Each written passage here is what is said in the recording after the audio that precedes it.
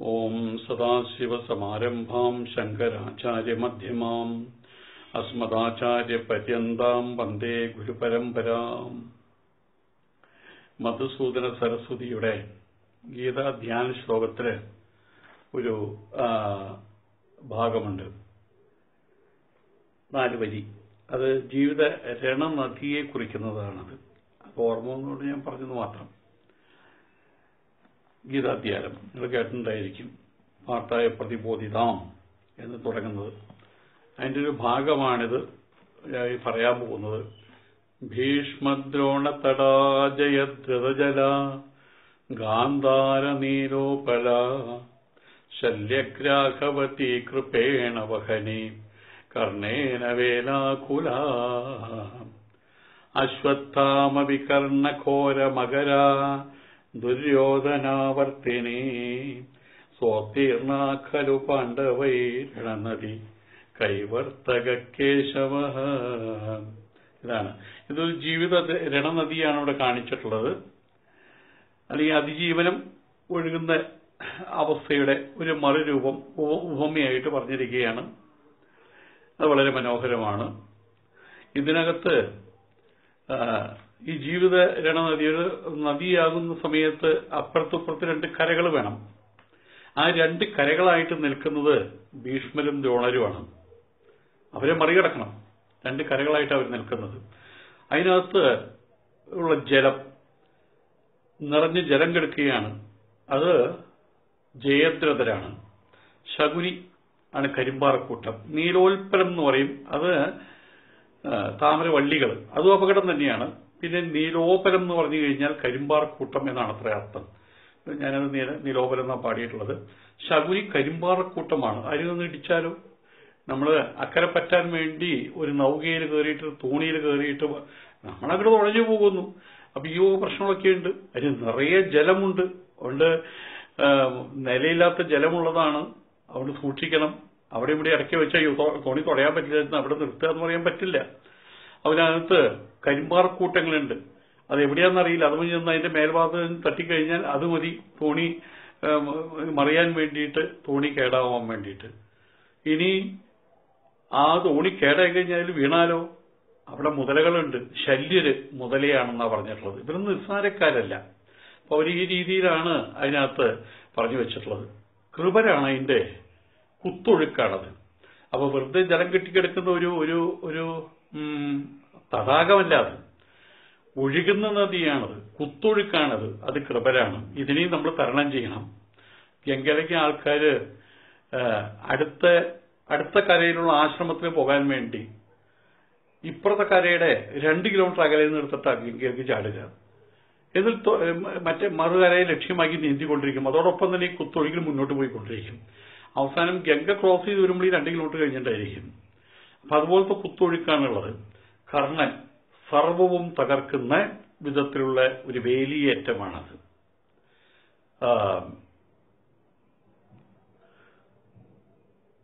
വേലിയേറ്റത്തിൽ കടൽ വേലി വേലിയേറ്റം ഉണ്ടാകുന്ന സമയത്ത് അതിൽ വരുന്ന ഉയർന്ന വെള്ളത്തെ തടഞ്ഞു നിർത്താൻ എന്തിനും കഴിയുമോ? അതിന് വഴി മാറിക്കൊടുക്കേ പറ്റുള്ളൂ. അല്ലെങ്കിൽ എല്ലാം തകർത്ത് കളയും. അശ്വത്ഥാമാവ് വികർണൻ രണ്ട് യോദ്ധാക്കൾ. അത് രണ്ടുപേരും കൊലയാളി സ്രാവുകളാണെന്നാണ് പറഞ്ഞിട്ടുള്ളത്. ദുര്യോധനൻ അതിനകത്ത് വീണ് പോയി കഴിഞ്ഞാൽ ഈ കടലിനകത്ത് തിരിച്ചുടികളുണ്ട് അതിന് വീണ് പോയി ഞങ്ങൾ കറങ്ങി കറങ്ങി താഴോട്ട് കൊണ്ടുപോകും. പിന്നെ മേലോട്ട് വരലുണ്ടാവില്ല. അപ്പോ അഗാധതയിലേക്ക് കൊണ്ടുപോകും. അതാണ് ദുര്യോധനൻ.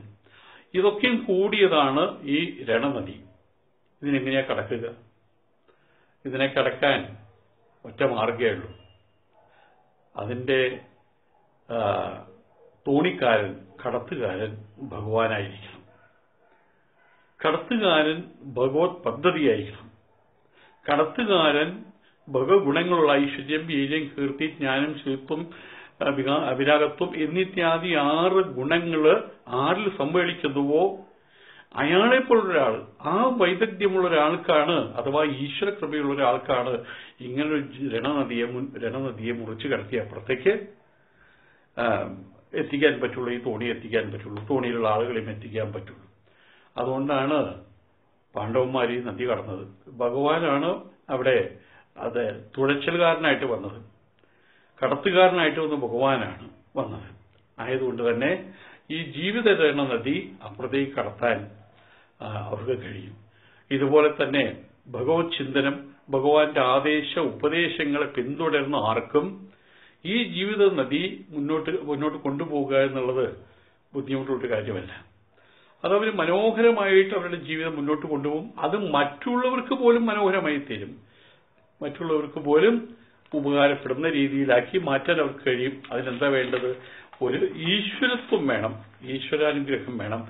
എന്നാൽ മാത്രമേ അതിന് കഴിയുള്ളൂ. നമ്മുടെ പ്രഗത്ഭനായിട്ടുള്ള നമ്മുടെ ഗാനഗന്ധർവൻ ഒരിക്കൽ തൃശൂർ സാഹിത്യ അക്കാദമിയിൽ വന്നപ്പോൾ അവിടെ വേദിയിൽ ഞാനും ഉണ്ടായിരുന്നു. അത് ഞാൻ ആദ്യമായിട്ട് നേരിട്ട് സംസാരിക്കുന്നത് അദ്ദേഹം നേരിട്ട് ആ ശബ്ദം കേൾക്കുന്നത്. അപ്പൊ അദ്ദേഹം പറഞ്ഞത് കാലത്ത് എഴുന്നേറ്റിട്ട് അദ്ദേഹം ആ സാധകം ചെയ്യുന്ന സമയത്ത് ആ ശബ്ദം അദ്ദേഹം എന്ന് പറഞ്ഞിട്ട് പറയും അത് റെക്കോർഡ് ചെയ്യും. റെക്കോർഡ് ചെയ്തിട്ട് അതിന്റെ വൈബ്രേഷൻ നോക്കുമ്പോൾ എന്താ? ഒരു ആന്തോളനം പോലെ ഇങ്ങനെ പോകുന്നു. അതങ്ങനെ കാണുകയാണ്. കാണുന്ന സമയത്ത് ഉണ്ടാകുന്ന ആ ഒരു സന്തോഷം. കാരണം എന്താണത്? എത്ര പ്രാക്ടീസ് ചെയ്താലും ചിലപ്പോൾ അതുപോലെ വരണമെന്നില്ല. അപ്പൊ അവർ പറയും ഈശ്വരാനുഗ്രഹം അല്ലാണ്ട് ഇപ്പൊ എന്താ പറയുക? അദ്ദേഹത്തിന്റെ ജ്യേഷ്ഠ നല്ല ഗായകനായിരുന്നു. പക്ഷെ ഒരിക്കൽ പാടി വന്ന സമയത്ത് ഇവിടെ ഒരു മുഴ അവിടെ അങ്ങനെ പാട്ട് പോയി. ഇദ്ദേഹത്തെ ഈ പാട്ടുമായിട്ട് മുന്നോട്ട് കൊണ്ടുപോകാൻ വേണ്ടിയിട്ട് ഈശ്വരൻ അതിനായിട്ട് അവതരിപ്പിക്കുകയാണ് ചെയ്തത്. ഈശ്വരൻ അതിനായിട്ട് അതിനായിട്ട് സൃഷ്ടിച്ചു വെക്കുകയാണ് ചെയ്തത്. അപ്പോൾ നമ്മൾ എത്ര പ്രാക്ടീസ് ചെയ്താലും നമ്മളിൽ ആ ഗുണം നിറഞ്ഞു നിൽക്കണമെങ്കിൽ ഒരു നിയതിയുടെ നീതിയുടെ അനുഗ്രഹം ഉണ്ടായാലേ മതിയാവും. അല്ല ഭഗവത് ചിന്തകളാൽ നമ്മളുടെ ജീവിതത്തെ ക്രമമാക്കി തീർക്കേണ്ട തീർക്കേണ്ടുന്ന തീർക്കാനുള്ള വിധത്തിലുള്ള കാര്യങ്ങൾ അടക്കി ഒടുക്കി അടക്കി ഒതുക്കി വെച്ചിട്ടുള്ള ആ സന്ദേശങ്ങൾ അതാണ് ഭഗവത് ചിന്തകൾ ഈ ഭഗവത് ചിന്തകളാൽ ഉറച്ച ബുദ്ധി ഉണ്ടാകണം സത്യബുദ്ധി ഉണ്ടാകണം. അവരെ സംബന്ധിച്ചിടത്തോളം ഈ നദി അനായാസം അവർ കടന്നക്കരെ പറ്റും. ഞാനൊരിക്കൽ വലിയ നീളത്തിലുള്ള വഞ്ചി ഞാനുണ്ട് എന്റെ കൂടെ ഒന്ന് രണ്ട് ആൾക്കാരുണ്ട്. അപ്പൊ കടത്തുകാരൻ അവിടെ ഇല്ല. ഒരു പുൽ കോൾപ്പടവ് കടക്കാൻ വേണ്ടിയിട്ടാണ്. കോൾപ്പടവ് കടക്കാൻ വേണ്ടിയിട്ട്. അപ്പൊ അത് മഴക്കാലത്ത് അവിടെ കൃഷി നടക്കില്ല. അവിടെ വെള്ളം വന്ന് മൂടി നിൽക്കുകയാണ് അവിടെ. ബണ്ട് ക്ലോസ് ചെയ്യുന്ന സമയത്ത്. അപ്പൊ ഇവിടെ നിന്ന് അങ്ങോട്ട് കടക്കാൻ വേണ്ടി വഞ്ചി എടുത്തു. എന്നിട്ട് വഞ്ചിയുടെ നടുവിൽ നിന്ന് കുത്തി തുഴയുന്നതാണ്. അല്ലാണ്ട് പങ്കായം കൊണ്ട് തുഴയാൻ പറ്റില്ല. കുത്തിയിട്ട് വേണം. ഞാൻ കുത്തുമ്പോൾ എന്തുണ്ടാവും വെച്ചാൽ ഈ ഭാഗത്ത് കുത്തിയ വജ്ജി അങ്ങോട്ട് പോകും. ആ ഭാഗത്ത് കുത്തിയ വജ്ജി ഇങ്ങോട്ട് പോകും. ഈ ഭാഗത്ത് കുത്തിയ ഇങ്ങോട്ട്. അവസാനം ഇത്തിരി മുന്നോട്ട് പോയിട്ട് അതിനെ പിന്നോട്ട് പിന്നോട്ട് കൊണ്ടുവരാൻ തന്നെ പാടുപെട്ടു എന്നുള്ളതാണ്. പക്ഷെ അതേ സമയത്ത് അതിനകത്ത് കുട്ടികൾ പോലും അതെ അതിന് പ്രാക്ടീസ് ഉള്ള കുട്ടികൾ അവർ കയറി ആ പിന്നിൽ നിന്നിട്ട് അവർ തുടയുക ആ പിന്നിൽ നിന്ന് അവർ തുടങ്ങാൻ കണ്ട് നമുക്ക് തോന്നും ഈ- ഇത് വഞ്ചിയും എന്തോ ഒരു ട്രിക്ക് ഉപയോഗിച്ചിട്ടുണ്ടെന്ന്. അവർക്ക് മാത്രം തുഴയാൻ വേണ്ടി അപ്പൊ അത് പ്രാക്ടീസ് കൊണ്ടാണ് അഭ്യാസം കൊണ്ടാണ് അപ്പോൾ ഇവിടെ ബുദ്ധിയുടെ ഭാവത്തിൽ ഭഗവാൻ നിൽക്കണം ഈശ്വര ബുദ്ധിയായിരിക്കണം. അങ്ങനെയാവുന്ന സമയത്ത് എന്തുണ്ടാകുന്നു? ഈ നൗക മുന്നോട്ട് പോകും നമ്മുടെ ജീവിത നൗകയും അതുപോലെ തന്നെ മുന്നോട്ട് പോകും. ഭഗവാൻ ഇതുവരെ ഉപന്യസിച്ച കാര്യങ്ങൾ കുറച്ച് സമയങ്ങളായിട്ട് കുറച്ച് കാര്യങ്ങൾ പറഞ്ഞു. ഇതൊന്നുകൂടി ആവർത്തിച്ചിട്ട് ഇവിടെ അവസാനിപ്പിക്കുകയാണ് അടുത്ത ശ്ലോകം അറുപത്തിയെട്ടാമത്തെ ശ്ലോകം. തസ്മാദ്യസ്യ മഹാബാഹോ നിഗൃഹീതാനി സർവശഃ ഇന്ദ്രിയാണീന്ദ്രിയാർത്ഥേഭ്യ തസ്യ പ്രജ്ഞാ പ്രതിഷ്ഠിത തസ്മാത് യസ്യ മഹാബാഹോ നിഗൃഹീതാനി സർവശഃ ഇന്ദ്രിയാണി ഇന്ദ്രിയാർത്ഥേഭ്യ തസ്യ പ്രജ്ഞ പ്രതിഷ്ഠിത. ഈ പറഞ്ഞ കാര്യങ്ങൾ ഒന്നുകൂടി കൺക്ലൂഡ് ചെയ്യുകയാണ്. ഇന്ദ്രിയാണാം പ്രവൃത്തോ ദോഷ ഉപപാദിത യസ്മാത് തസ്മാത് യസ്യ യഥേഹേ ഹേ മഹാബാഹോ നിഗൃഹീതാനി സർവശഃ സർവപ്രകാരൈ മാനസാദി ഭേദൈः ഇന്ദ്രിയാണി ഇന്ദ്രിയാർത്ഥേഭ്യः ശബ്ദാദിഭ്യः തസ്യ ഭാഷ്യം. ഇന്ദ്രിയാണാം പ്രവൃത്തോ ദോഷക ഉപപാദിത. ഇന്ദ്രിയങ്ങളുടെ ഈ നെട്ടോട്ടം ഇന്ദ്രിയങ്ങൾ ഇന്ദ്രിയങ്ങളുടെ പ്രവൃത്തിയിലുണ്ടാകുന്ന ദോഷങ്ങൾ അതിനെക്കുറിച്ച് നമ്മൾ ഓൾറെഡി പറഞ്ഞു കഴിഞ്ഞു. തസ്മാത് യസ്യ യഥേഹേ. ആയതിനാൽ ഏതൊരുവന്റെ? ഇവിടെ ഒരുവൻ എന്ന് പറയുമ്പോൾ ജ്ഞാനനിഷ്ഠയിൽ ഇവരുടെ മുന്നോട്ട് പോകാൻ ആഗ്രഹിക്കുന്നത് അതിനെ അതിന്റെ അഭ്യാസത്തിൽ മുഴുകിയിരിക്കുന്ന ആൾ. ഈ ഇപ്പൊ യതി എന്ന് പറയാം. അങ്ങനെയുള്ള യതിയുടെ യതേ ഹേ യതിയുടെ ഹേ മഹാബാഹു അരേ അർജുന നിഗൃഹീതാനി സർവശഃ സർവപ്രകാരൈ മാനസാദിഭേദൈ ഇന്ദ്രിയാണി ഇന്ദ്രിയേഭ്യ ശബ്ദാദിഭ്യ അങ്ങനെയുള്ള അർജുന അങ്ങനെയുള്ള ഏതൊരു യോഗിയുടെ മനസ്സാണോ ഇന്ദ്രിയങ്ങളും ശബ്ദാദി വിഷയങ്ങളിൽ നിന്ന് വിട്ടുനിൽക്കുന്നുവോ? മനസ്സ് ഏതൊരു യോഗിയുടെ മനസ്സ്? മനസ്സ് തുടങ്ങിയ ഇന്ദ്രിയങ്ങൾ അത്രയും. പഞ്ചേന്ദ്രിയങ്ങൾ ക്രമേന്ദ്രിയങ്ങളൊക്കെ വയ്ക്കാം ഇതെല്ലാം ശബ്ദാദി വിഷയങ്ങളിൽ നിന്ന് വിട്ടുനിൽക്കുന്നു ഏതൊരു യോഗിയുടെയാണോ അവന് വിട്ടുനിൽക്കുന്നത് തസ്യപ്രജ്ഞ അവന്റെ പ്രജ്ഞ ഉറച്ചതാണ്.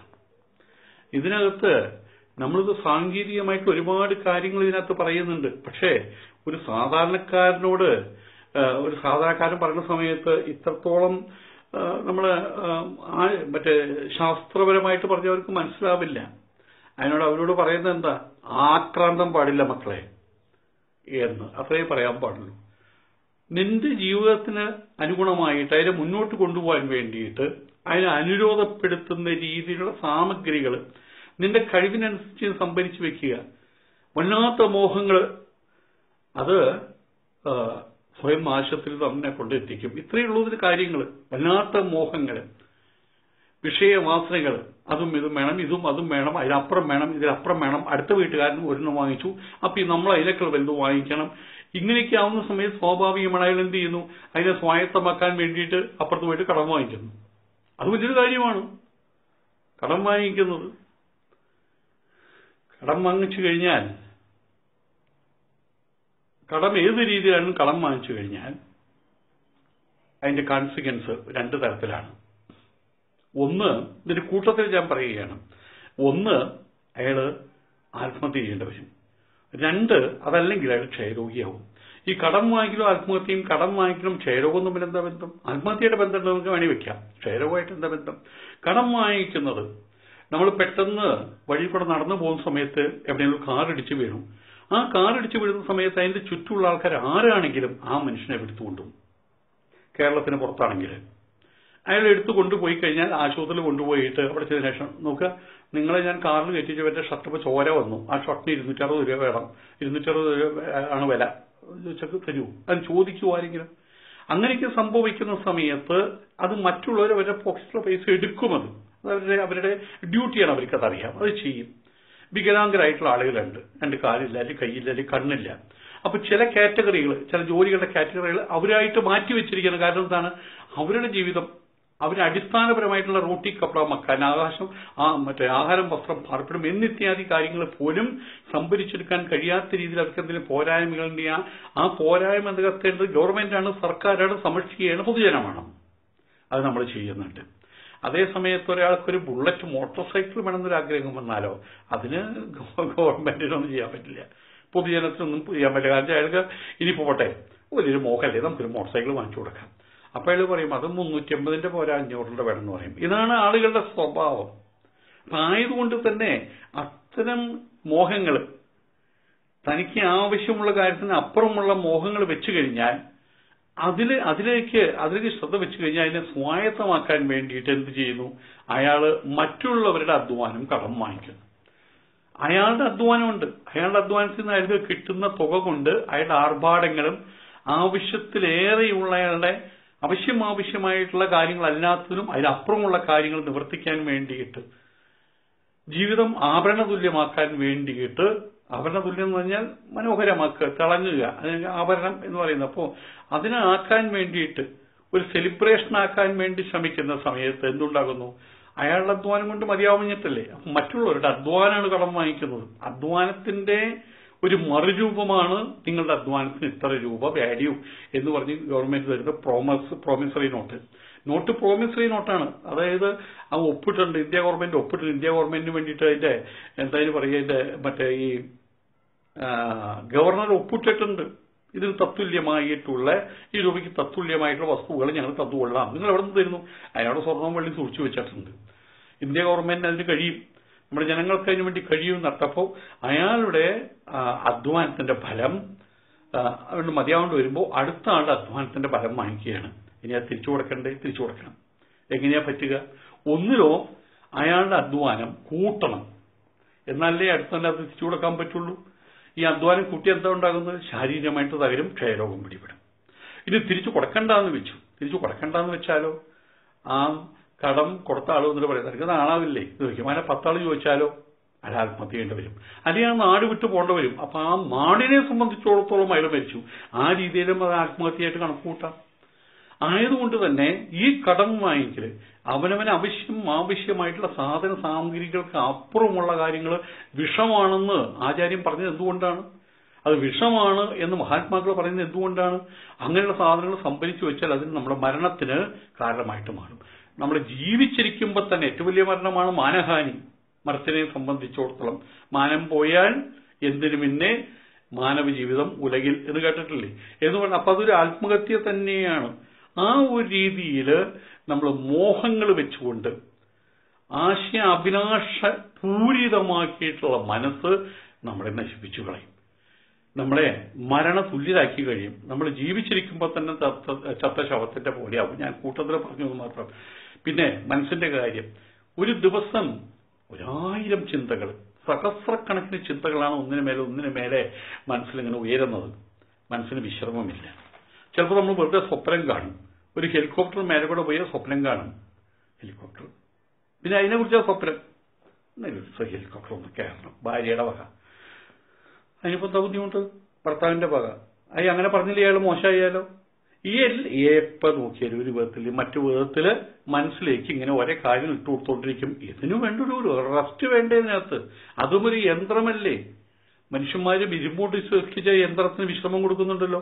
ഈശ്വരൻ ബയോളജിക്കലായിട്ടുള്ള സാധനങ്ങൾ കൊണ്ട് സൃഷ്ടിച്ച സാധനങ്ങൾ സാധനങ്ങൾക്ക് അല്ലെങ്കിൽ നമ്മുടെ നമ്മളുടെ ജീവ ജീവഭാവങ്ങളെ കൊണ്ട് സൃഷ്ടിച്ചിട്ടുള്ള സെല്ലുകളെ കൊണ്ട് സൃഷ്ടിച്ചിട്ടുള്ള ഈ ശരീരത്തിനും വേണ്ട ഒരു വിശ്രമം മനസ്സിനും വേണ്ട ഒരു വിശ്രമം അതില്ലാത്ത രീതിയിൽ മനസ്സിനെ ഇങ്ങനെ പ്രവർത്തിപ്പിച്ച് പ്രവർത്തിപ്പിച്ച് രാത്രി കിടന്നുറങ്ങുന്ന സമയത്ത് ചില ആൾക്കാരുണ്ട്.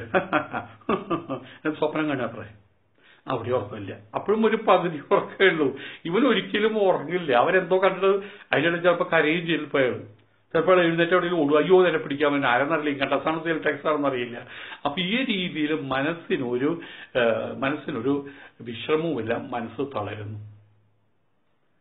അയാൾ ഭ്രാന്തനായിട്ട് മാറും. ഉറക്കളി കഴിഞ്ഞില്ലേ?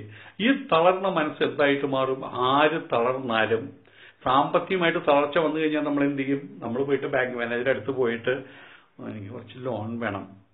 എത്ര ലോൺ വേണം? എനിക്ക് ആയിരം രൂപ. ആ ശരി. നിനക്ക് ലോൺ തരാം. പത്ത് ലക്ഷത്തിന്റെ വീട് പണയം വെക്കാൻ പറയാം ആയിരം രൂപയ്ക്ക് വേണ്ടിയിട്ട്. അപ്പോ ഞാനത് ചെയ്യാം. കടം വാങ്ങിക്കാൻ ചെല്ലാണ്. അവിടെ ചെന്നിട്ട് പറയാം. ബാങ്ക് മാനേജർക്ക് ഫോൺ ചെയ്ത് പറയാൻ പറ്റുമോ? നമുക്ക് ആയിരം രൂപ കൊടുത്താൽ എന്ന് പറയാൻ പറ്റും. പറ്റില്ല. കടം വാങ്ങിക്കാൻ പോകുമ്പോൾ നമ്മൾ എപ്പോഴും എന്ത് ചെയ്യണം? നമ്മൾ സാമ്പത്തികമായിട്ടുള്ള തളർന്നവനാണ് കടം വാങ്ങിക്കാൻ പോകുമ്പോൾ നമ്മൾ കീഴ് വടങ്ങി നിന്നേ മതിയാകും. അപ്പോ ഏത് സാമ്പത്തികമായിട്ട് സാമൂഹികമാകട്ടെ അല്ലെങ്കിൽ സാംസ്കാരികമായിട്ട് ഏത് രീതിയിലാണെങ്കിലും നമ്മൾ നമ്മൾ തളർന്നു കഴിഞ്ഞാൽ നമ്മൾ പരന്റെ അധീനമായി തീരുന്നു തളർന്ന മനസ്സ് പരന്റെ അധീനത്തിലാകുന്നു. ആ മനസ്സ് അയാളുടെ അധീനത്തിലായി കഴിഞ്ഞാൽ അർത്ഥം എന്താ? നമ്മൾ അയാളുടെ അധീനത്തിലാകുന്നു. നമ്മൾ അയാളുടെ അടിമയായിട്ട് മാറുന്നു. ഇതന്നെ അർത്ഥം. പിന്നെ അയാൾ പറയുന്ന പോലെയാണ് നമ്മൾ പെരുമാറേണ്ടത്. നമുക്ക് പിന്നെ സ്വന്തമായിട്ടുള്ള സ്വഭാവങ്ങളില്ല. നമ്മളവിടെ നിൽക്കുന്ന സമയത്ത് ഇപ്പൊ പോലീസ് സ്റ്റേഷനിലേക്ക് ആരും അവിടെ ചെന്ന് കഴിഞ്ഞാൽ പിന്നെ നമ്മളവിടെ കുറ്റം ചെയ്ത ചെയ്യുന്നത് ചെല്ലുന്നത്. അതുകൊണ്ട് തന്നെ അവിടെ പോലീസുകാർക്ക് അധീനപ്പെട്ട് നിൽക്കുകയാണ് നമ്മൾ. അങ്ങനെ മാറിക്കടാ. മറ്റേ അതിന്റെ അവിടെയാ നിൽക്കുക. അപ്പൊ അങ്ങോട്ട് മാറിയെന്ന് ഞാൻ പറയും. ഓഫീസിന്റെ മുമ്പിൽ നിൽക്കുക. ഇങ്ങോട്ട് മാറി നിൽക്കടാ. അതിന്റെ സ്വസ്വഭാവങ്ങളെ നശിപ്പിച്ച് കളയാണ്. പേഴ്സണാലിറ്റി നശിപ്പിച്ച് കളയാണ്. അപ്പൊ അവിടെ നിന്ന് കുറെ കഴിഞ്ഞ സമയത്ത് നിങ്ങൾ ചായ വേണം ചായ വേണ്ട. എനിക്ക് കോഫി മതി. ബ്രൂ കോഫി കിട്ടൂ. ചിലപ്പോൾ കൊടുത്തു കേട്ടോ. ഒരു കോപ്പി അല്ല കൊടുക്കുക രണ്ട് കോപ്പി കൊടുത്തു വരും അപ്പൊ അവിടെ ചായ കിട്ടിയ ചായ അത്രയും ഭാഗ്യം. അവിടെ സ്വസ്വഭാവങ്ങളില്ല ധരിച്ച് വീട്ടിലാണെങ്കിലോ എന്റെ ഭർത്താവ് ബ്ലൂ കോഫി മാത്രമേ കുടിക്കുകയുള്ളൂ. അവിടെ സ്വസ്വഭാവങ്ങളുണ്ട് കാരണം എന്താണ്? മനസ്സ് അവനവന്റെ അധീനത്തിലാണ്. മനസ്സ് അന്യന്റെ അധീനത്തിലായി കഴിഞ്ഞാൽ എന്തുണ്ടാകുന്നു? അയാൾ വിധേയപ്പെടുന്നു അടിമയായിട്ട് മാറുന്നു. അവിടെ സ്വസ്വഭാവങ്ങൾ പോലും ഉണ്ടാവുന്നില്ല.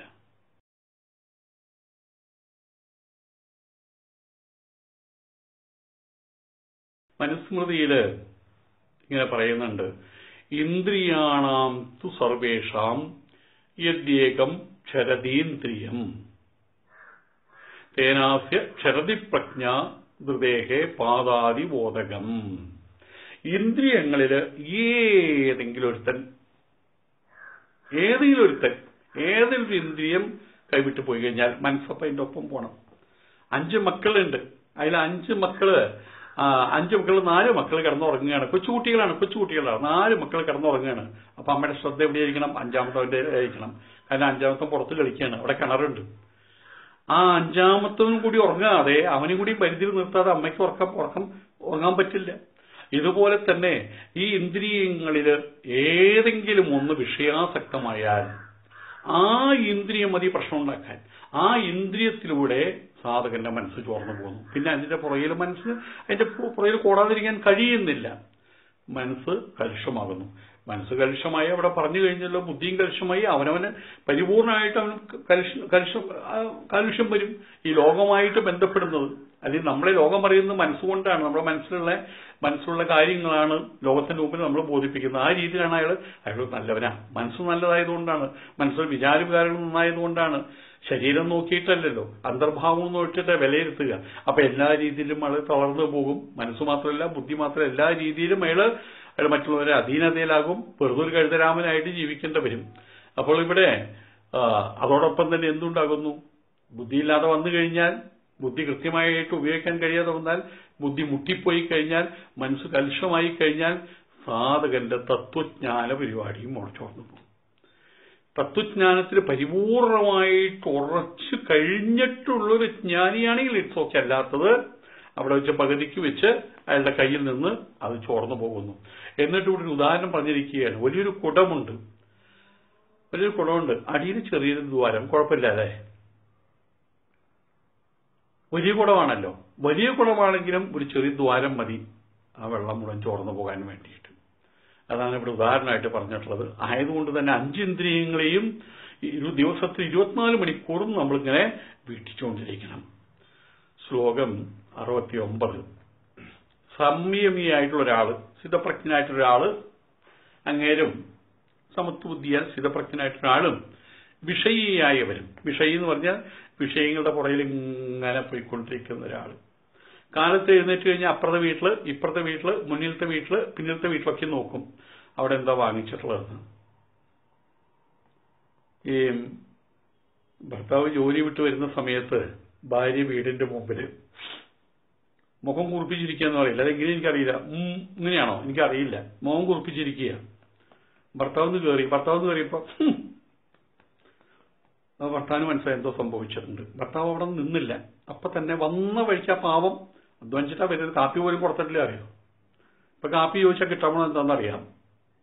അപ്പൊ ഏതായാലും അങ്ങനെ പുറത്തു പോയി അടുത്ത വീട്ടിൽ പോയിട്ട് ചോദിച്ചു. നിങ്ങൾ ഈ അടുത്ത കാലത്ത് ഇവിടെ എന്തെങ്കിലും പുതിയതായിട്ട് എന്തെങ്കിലും സാധനങ്ങൾ വാങ്ങിച്ചിട്ടുണ്ടോ? ഇല്ലല്ലോ. ആ ശരി. അവിടെ നിന്ന് പുറത്തു പോയി അപ്പൊ ഭാര്യയുടെ ഭർത്താവ് ചോദിച്ചു. എന്താണെന്ന് ചോദിച്ചേ? അല്ല ഇവിടെ എന്തെങ്കിലും വാങ്ങിച്ചിട്ടുണ്ടോ? എന്നാ ചോദിച്ചേ. ഇല്ലാതെ അയാൾ പോയി. അതെന്താ പറ്റി? അത് കഴിഞ്ഞ് മുമ്പിലുള്ള വീട്ടിൽ ചെന്നു. ഇവിടെ എന്തിനു പുതു വാങ്ങിച്ചിട്ടില്ല അവിടെ പോയി.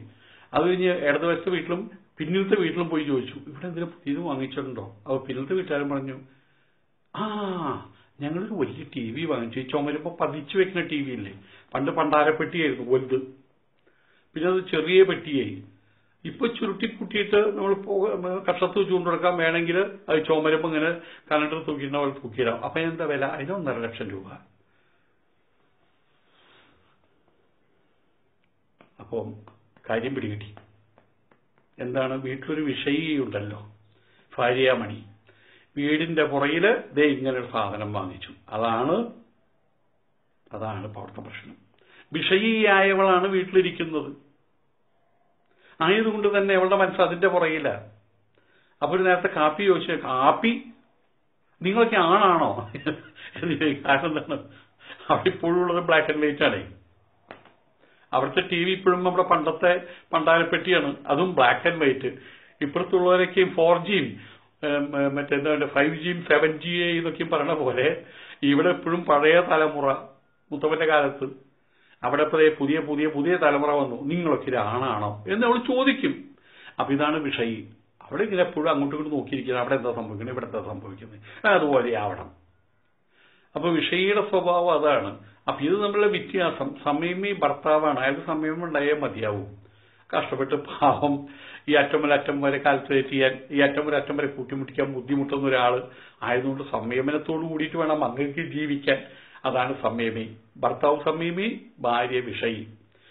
അപ്പോ ഇവിടെ പറയുകയാണ് ഇങ്ങനെ സംയമിയായിട്ടുള്ള ഒരാൾ സ്ഥിതപ്രജ്ഞനായിട്ടുള്ള ഒരാൾ സ്ഥിതപ്രജ്ഞത ഇല്ലാത്തൊരാൾ ഇത് തമ്മിലുള്ള വ്യത്യാസം എന്താണ്? ഈ കാണുന്നതും കേൾക്കുന്നതുമായിട്ടുള്ള പ്രപഞ്ചത്തിൽ നിന്നുള്ള ഏറ്റുവാങ്ങലൊന്നും എന്റെ പരിപൂർണതയ്ക്ക് എന്റെ എന്റെ ജീവിതത്തിന്റെ ഫുൾഫിൽമെന്റിന് വേണ്ടിയിട്ട് നിലകൊള്ളുന്നില്ല എന്ന് മനസ്സിലാക്കുന്നവൻ ഇതിന്റെ ഒന്നും പുറകിൽ പോകുന്നില്ല. എന്തിന്റെ പുറകിൽ പോകണോ അതിന്റെ പുറകിലേ പോകുള്ളൂ. അയാൾ വിഷയധ്യാനമല്ല അയാൾക്ക് ആത്മധ്യാനമാണുള്ളത്. അയാളാണ് സംയമി മറ്റേ ആളെന്താ വിഷയി? അതായത് ഈ ലോകത്തിൽ നിന്നുള്ള സാധനങ്ങൾ ഏറ്റുവാങ്ങി കഴിഞ്ഞാൽ എപ്പോഴും പറയും ഒരു കാറ് കാറ് വാങ്ങിക്കണം. കാറ് വാങ്ങിച്ചിട്ട് വേണം ഇത് സഞ്ചരിക്കാൻ. ആഹാ അയാൾക്കാണ് സന്തോഷം. കാറ് വാങ്ങിച്ചു കഴിഞ്ഞാലോ?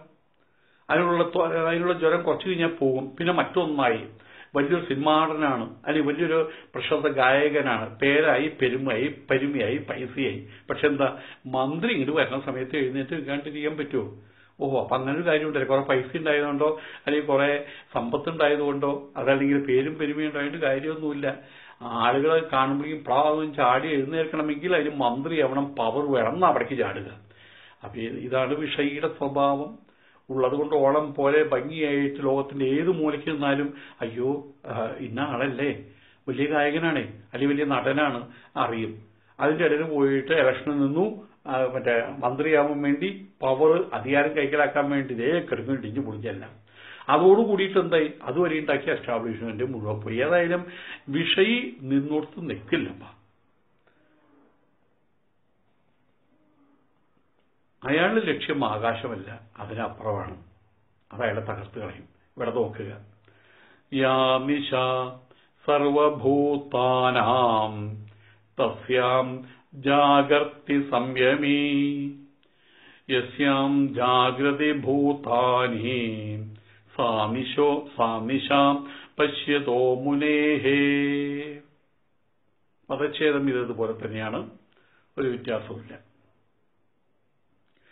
ഇത് വളരെ മനോഹരമായിട്ട് അവതരിപ്പിച്ചിരിക്കുകയാണ്. ചില ആളുകൾക്ക് ചിലതിനോട് ഉൾക്കുടവും മതമ്യവുമായിട്ടുള്ള താല്പര്യമാണ്. അവർ തേടിപ്പോകും അവർ. സ്ത്രീകളൊക്കെ കണ്ടിട്ടില്ലേ? ഒരു പൂവ് എവിടെയെങ്കിലും വീടിന്റെ പുറകിൽ ഒരു മുല്ലപ്പൂ വിടർന്നാ മതി. അല്ലെങ്കിൽ ഒരു നൈറ്റ് കിൻ അതല്ലെങ്കിൽ ജാസ്മിൻ വിടർന്നാ മതി. ഉടനെ തന്നെ പൂവ് ഇടുന്നുണ്ടോ ഒന്ന് പോയി നോക്കാം. എന്നായി. ഇതുപോലെ ചില ആണുങ്ങളുണ്ട്. അവർ ഞാൻ സഞ്ചരിക്കുന്ന സമയം പെട്ടെന്ന് ഇവിടെ അടുത്ത് എവിടെയുണ്ട്? മനസ്സിലായില്ല എന്താന്ന്? അവർക്ക് അതിന്റെ മണം കിട്ടിയ ഉടനെ തന്നെ ആ ഷാപ്പ് അവിടെയുണ്ട്. അതേ സമയത്ത് അപ്പുറത്ത് പൂക്കച്ചവടം ഉണ്ടായിരിക്കും അതിന്റെ മണം ഇവിടേക്ക് അടിക്കില്ല അപ്പൊ ഓരോരുത്തർക്കും ഓരോന്നിനോട് ആ താല്പര്യം. ആ താല്പര്യത്തിനനുസരിച്ചായിരിക്കും അവരുടെ മനസ്സ് ഉണർന്നിരിക്കുന്നതും അവരുടെ മനസ്സ് ഉറങ്ങുന്നതും. എവിടെയും വഴി കൂടെ പോകുന്ന സമയത്ത് ഒരു ബോർഡ് അവിടെ എഴുതി വെച്ചിരിക്കുകയാണ്. ഇന്ന് ചെമ്പൈ വൈദ്യനാഥ ഭാഗവതയുടെ കച്ചേരി അവിടെ നടക്കുന്നു. അതിനെ നോക്കും ആര് ശ്രദ്ധിക്കാം? അത് ശ്രദ്ധിക്കുന്ന ആൾക്കാരുണ്ട്. ചെമ്പൈന്ന് കാണുമ്പോഴേക്കും ബസ്സിലിരുന്നാണെങ്കിലും അയാൾ നോക്കും. അപ്പോഴേക്കും മറഞ്ഞുപോയി. അപ്പൊ വിളിച്ചു ചോദിച്ചു ഏയ് സാഹിത്യ അക്കാദമിയുടെ മുമ്പിൽ ചെമ്പൈ എന്ന് എഴുതി വെക്കണ കണ്ട് വച്ചനെ കണ്ടല്ലോ. ആ അറിഞ്ഞില്ലേ? നാളെ അങ്ങനെ കച്ചേരിയുണ്ട്. അങ്ങനെ പറഞ്ഞ ആൾക്കാരുണ്ട്. അതേ സമയത്ത് മിമിക്രി ട്രൂപ്പിന്റെ പുതിയ മിമിക്രി അതിൽ തരിച്ചു കൂടുന്ന ആൾക്കാരുണ്ട്. അപ്പൊ ഓരോരുത്തരുടെ അന്തർമണ്ഡല വ്യവസ്ഥയ്ക്കനുസരിച്ചാണ് അവർ ചെമ്പേന്നുള്ള ബോർഡ് കണ്ടപ്പോൾ എന്താ കണ്ണിൽ പടഞ്ഞത്? ആ ഒരു കാര്യം അവരുടെ അവരുടെ മനസ്സിലേക്ക് പ്രകാശമായിട്ട് കടന്നു വരുന്നില്ല. ആ ഒരു മണ്ഡലം അവർക്ക് എപ്പോഴും സമ്മാനിക്കുന്നത് രാത്രിയാണ്. രാത്രി എന്താ കാണാൻ പറ്റുക? അതവർ കൺമുമ്പിൽ പെടുന്നതേയില്ല ആയതുകൊണ്ട് തന്നെ അവർക്കത് ഇരുട്ടാണ്. അവിടെ രാത്രിയാണ്. അതിൽ നിന്നൊന്നും അവർക്ക് നേടാനില്ല. ഒന്നും അവിടെ എന്താ കാണാനുള്ളത് ഒന്നും കാണാനില്ല. എന്നവർ പറഞ്ഞു കളയും. അങ്ങനെ. അപ്പൊ സകല പ്രാണികൾക്കും സാധാരണ പ്രാണികൾക്ക് സാധാരണക്കാരായിട്ടുള്ള ആൾക്കാരെ പറഞ്ഞ അവരെ സംബന്ധിച്ചിടത്തോളം എന്താണോ രാത്രി പോലെ ഇരിക്കുന്നത്. അതേ രാത്രി സംയമനം എന്നൊരാൾക്ക് സംയമിക്ക് യുക്തപുരുഷന് ആത്മാവിൽ ഏകാഗ്രതയുള്ളവന് അതേ രാത്രി അയാൾക്ക് പകലായിരിക്കും. അയാൾ അവിടെയാ ഉണർന്നിരിക്കുക. അയാൾ അവിടെയാണ് ഉണർന്നിരിക്കുക. ഇവിടെ പ്രാണികൾ എന്തിനാണോ ഉണർന്നിരിക്കുന്നത്? സത്യദർശിയായിട്ടുള്ള മുനിക്ക് സത്യ അതേപോലെ തിരിച്ച് പ്രാണികളായിട്ടുള്ള ആൾക്കാരെ ആഹാ എന്നും പറഞ്ഞ് ഉണർന്നിരിക്കുന്ന ചില സ്ഥലങ്ങളുണ്ടായിരിക്കാം സത്യദർശിയായിട്ടുള്ള മുനിയോ അവർക്ക് താല്പര്യമൊന്നും ഉണ്ടാവില്ല. അവരെ സംബന്ധിച്ചിടത്തോളം അങ്ങനെയുള്ള വിഷയങ്ങളുമായിട്ട് ബന്ധപ്പെട്ട കാര്യങ്ങളിൽ അവർ രാത്രിയാണ് അവർക്ക് അവരുടെ കണ്ണിന് അവിടേക്ക് പ്രകാശം കിട്ടില്ല.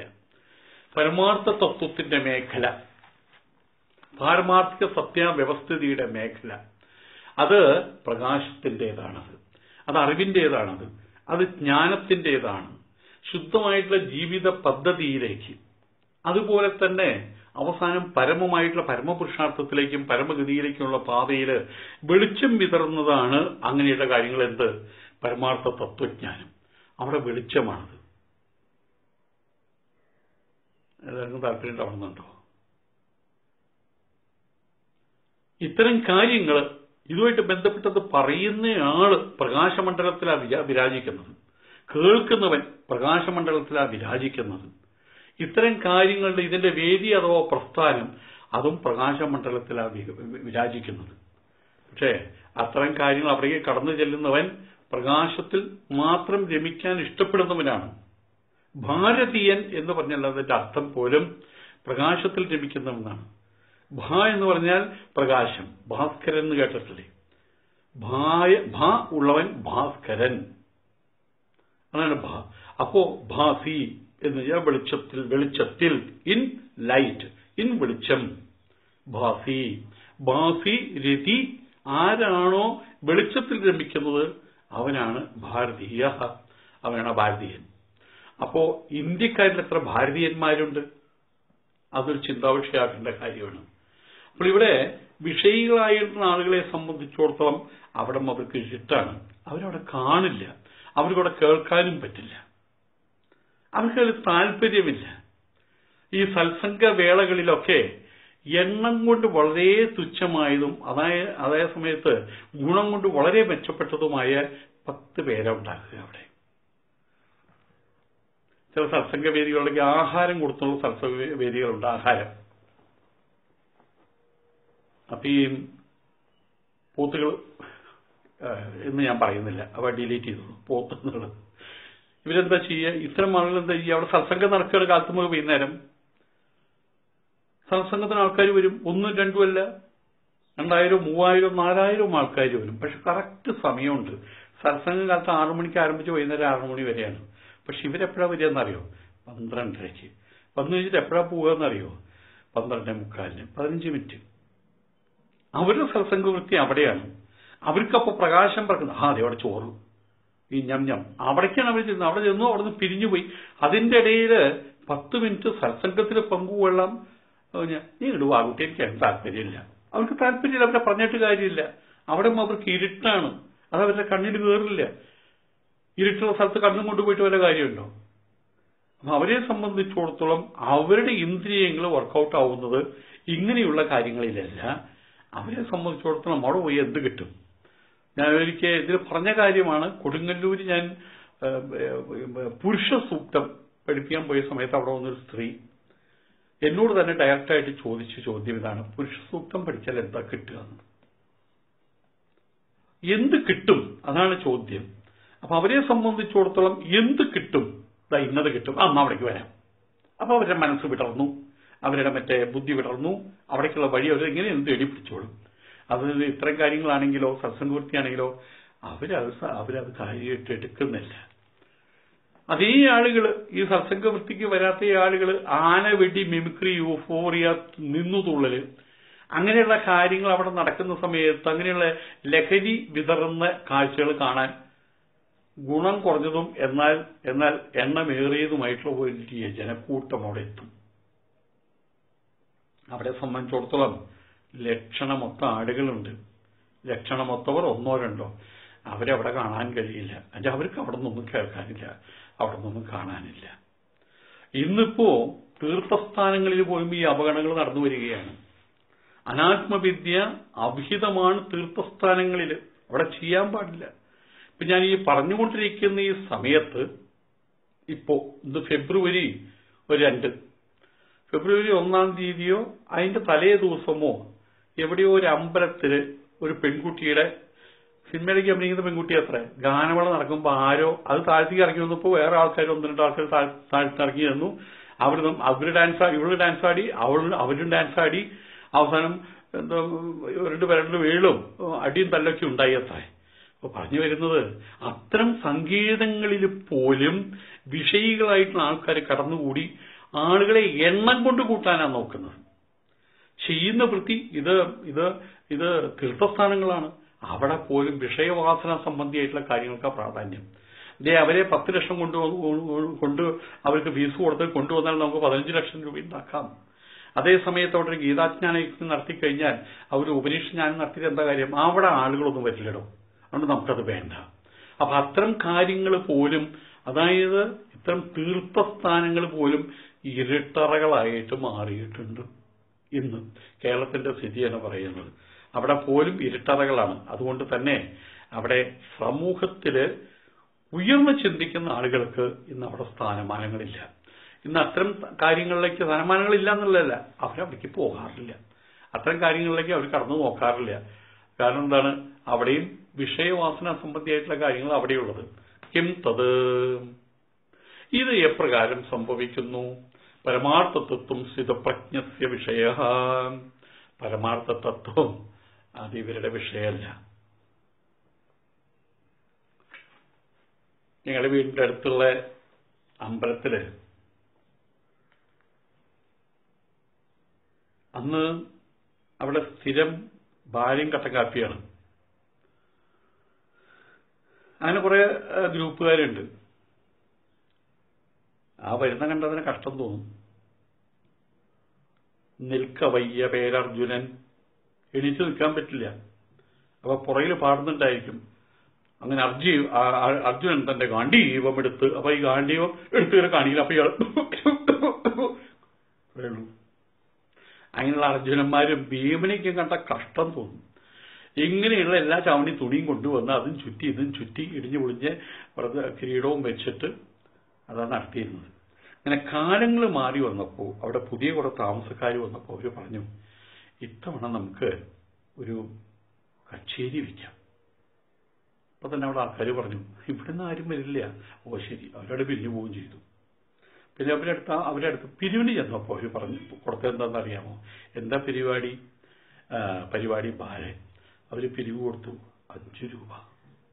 അയ്യോ അഞ്ചു രൂപ മതിയാവില്ല ബാലയെ നടത്താൻ നോക്കിയായിട്ട് ഞങ്ങൾ പറഞ്ഞില്ലല്ലോ ബാലയെ നടത്താൻ വേണ്ടിയിട്ട്. പിരിവ് കൊടുത്തില്ല.